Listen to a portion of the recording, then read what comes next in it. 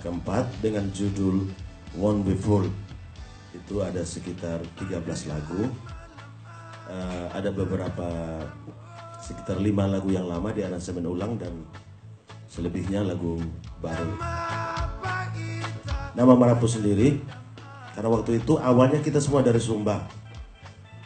Jadi eh, saya pikir waktu itu pikir namanya apa? Kalau yang ke barat-baratan sudah banyak, saya pikir karena kita dari Sumba, ya kita namain aja Marapu.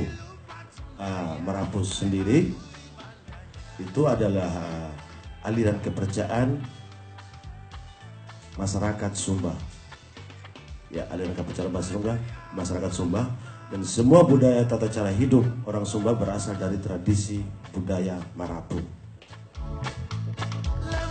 mereka kasih dengar album yang lama mereka kasih dengar album yang lama dan waktu saya dengar album itu saya bilang ula ini ada peluang betul uh, arahnya bagus musik reggae yang benar yang yang betul-betul reggae yang yang seperti di luar negeri gitu.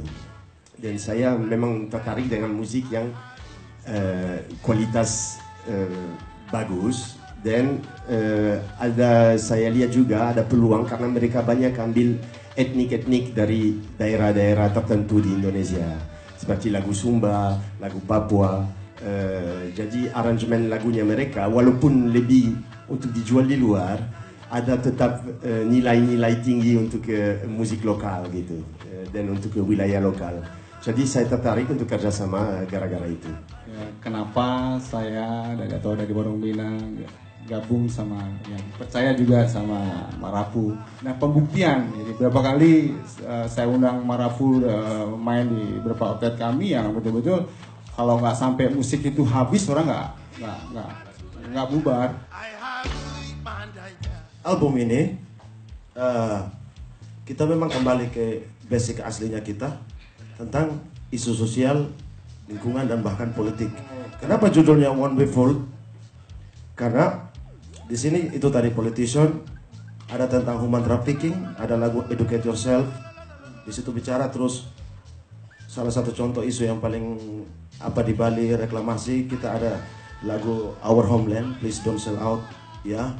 Terus Terang Dunia itu buat orang-orang yang ya walaupun mereka harus dipotong jabatannya apa pun karena mereka berani ada Terang Dunia.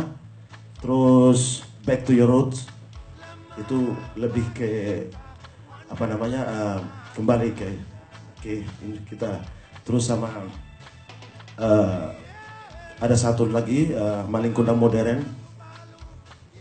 Itu lebih menjelaskan tentang uh, konteks uh, maling kundang. Oke agak lucu. Itu konteks antara ibu dan anak. Cuma kita maling kundang ini kita lebih angkat tentang ya ketika kamu korupsi radikal fanatisme kamu hancurin ibu pertiwi jadi jadi uh, ini ini message-nya di sini secara sedikit uh, tidak umum bisa di, ditangkap ke sana.